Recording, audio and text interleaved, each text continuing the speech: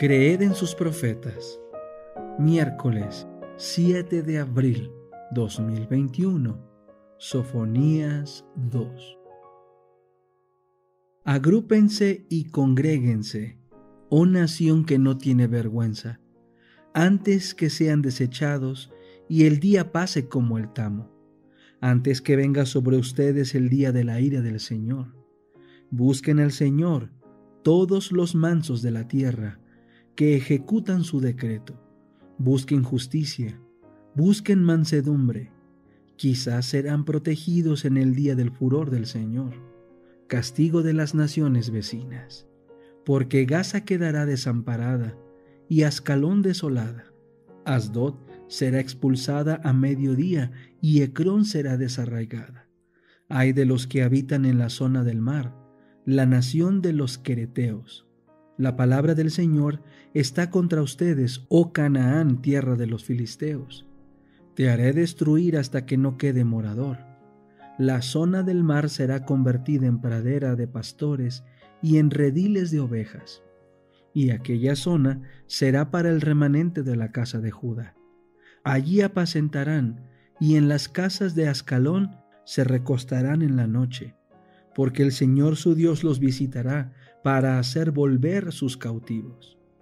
He oído las afrentas de Moab y los insultos con que los hijos de Amón enfrentaron a mi pueblo y se expandieron sobre sus territorios. Por tanto, vivo yo, dice el Señor de los ejércitos, Dios de Israel, que Moab será como Sodoma y los hijos de Amón como Gomorra, campos de ortigas, salinas y perpetua desolación. El remanente de mi pueblo los saqueará, y el resto de mi gente los heredará. Esto les sucederá por su soberbia, porque afrentaron y se engrandecieron a costa del pueblo del Señor de los ejércitos. Temible será el Señor contra ellos, porque hará que todos los dioses de la tierra vengan a menos. Cada uno se postrará ante él desde su lugar, en todas las costas de las naciones. También ustedes, los de Etiopía, serán muertos con mi espada.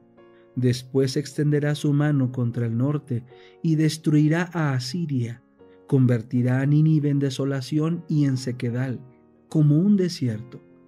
En medio de ella se recostarán las manadas y todo animal del campo. Tanto el búho como el erizo pernoctarán en sus capiteles. La lechuza cantará en la ventana y el cuervo en el umbral pues su enmaderado de cedro quedará expuesto. Esta es la ciudad alegre que habitaba confiadamente, la que decía en su corazón, solo yo y nadie más. ¿Cómo ha sido convertida en horror, en guarida de fieras? Cualquiera que pase junto a ella silbará y agitará la mano. La oración, capítulo 1. Dios nos invita a orar. Ninguna cosa que de alguna manera afecte nuestra paz es tan pequeña que Él no la note. No hay en nuestra experiencia ningún pasaje tan oscuro que Él no puede leer, ni perplejidad tan grande que Él no puede desenredar. Las relaciones entre Dios y cada una de las almas son tan claras y plenas como si no hubiese otra alma por la cual hubiera dado a su Hijo amado. Un anticipo del cielo. Descansad completamente en las manos de Jesús.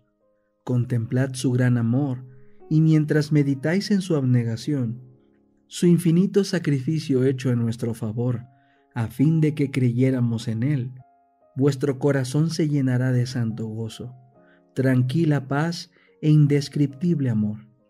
Mientras hablamos de Jesús, mientras lo invocamos en oración, se fortalece nuestra confianza de que es nuestro Salvador personal y amante, y su carácter aparecerá cada vez más hermoso. Podremos disfrutar de ricos festines de amor, y al creer plenamente que somos suyos por adopción, podremos gustar del cielo por anticipado. Esperad en el Señor con fe. Mientras oramos, Él atrae nuestra alma y nos hace sentir su precioso amor.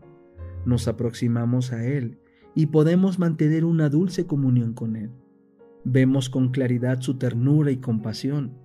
y el corazón se quebranta y enternece al contemplar el amor que nos es dado. Ciertamente sentimos que hay un Cristo que mora en el alma.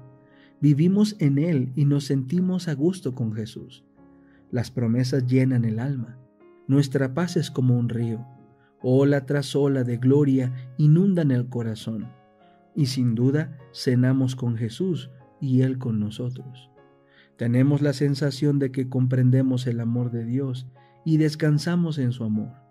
Ningún lenguaje puede describir esto. Está más allá del conocimiento.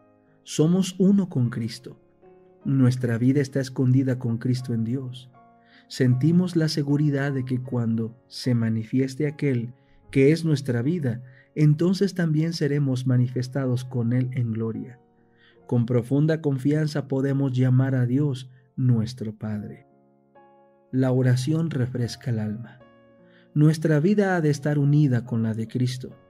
Hemos de recibir constantemente de Él, participando de Él, el pan vivo que descendió del cielo, bebiendo de una fuente siempre fresca, que siempre ofrece sus abundantes tesoros.